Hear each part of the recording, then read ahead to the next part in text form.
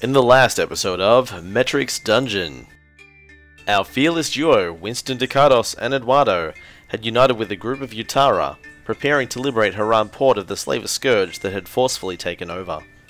As they were leaving to begin the assault, the adventurers were presented with a surprising sight. Lomas, being in much better health and spirits than previous meetings, save for the lack of depth perception. He said that he had been instructed to join the raid on Haran port, while his companions, D'Angelo and Jetro, take the long road back to make a grim delivery. They prepare for the journey and head forth. We are then all blessed with the Holy Triangle. The oh, The holy, the holy The holy triangle is here. Oh. Our adventurers travel along a path they once took and come across a forward force of more Utara, a detachment to be deployed in a pincer movement. The pair identify a bestiary of undead creatures and Winston pries the Utaran archivist for more information. His guile is insufficient. Oh my god. Oh wow! Oh. The archivist does decide to throw the duo a bone in the form of a dismembered hand, which Eduardo promptly consumes. As he nibbles on this finger food, he relives and re-dies, a memory of a man in Haran port who's quickly dispatched by a tall elf in a sailor's hat, identified to have been in port when our heroes arrived in this land. Was he inserted there as a turncoat? Deciding they've gathered all the knowledge they could, the pair move on further into the camp to fraternize with the rest of the Utara force. Whilst getting to know the participants of this raid, the leader of the force approached the encampment and seemed to give some sort of orders in an unknown language.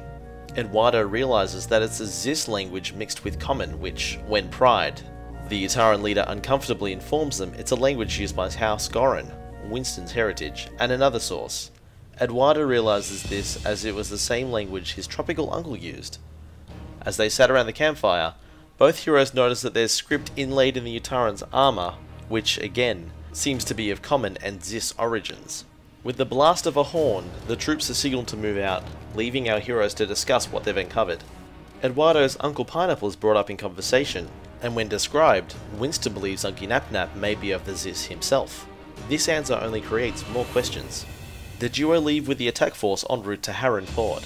When they arrive, they link up with the Liberation Force and prepare for the battle ahead. The stress of the events to come greatly impacted Eduardo and seemed to manifest as hallucinations. They discuss the situation with Francis, who was held captive in the port and had managed to send for help as the hostile forces were preoccupied. As some final advice, Francis informs the group that there's barrels of oil strategically placed around and to take full advantage of them. The adventurers notice a light signal from Lomas, perched atop a tower. The assault is ready. Our heroes steel themselves and enter the fray. The battle is long and fierce, with many fierce adversaries ready to destroy any who oppose them, and even some that don't. Even the local farm animals join the assault. The heroes then spot the very same elf that Eduardo had seen in his vision, the turncoat murderer.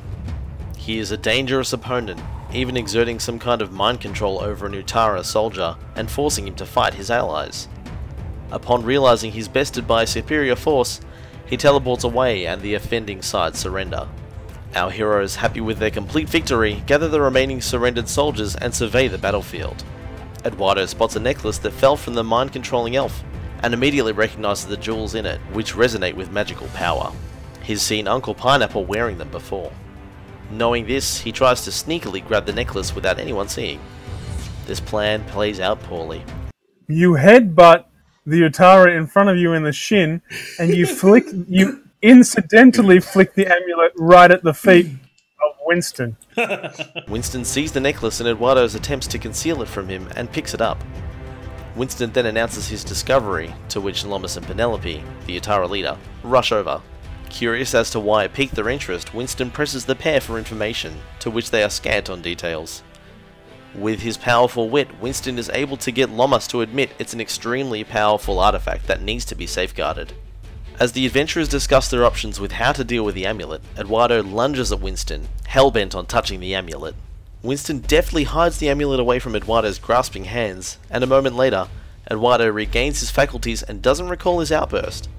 Shaken, he gives his blessing to hand over the artifact. As Winston hands it over to Lomas, Winston accidentally brushes the amulet with his bare skin, sending a surge of pain through his body as well as Eduardo's. They're then seemingly teleported to an unknown location which appears to be a basement. Our heroes are left dazed, disoriented, and have even more unanswered questions. But this is their calling, and they're driven to find the answers. So, this is where our adventurers are. What happens next? Find out this week on Metrics Dungeon.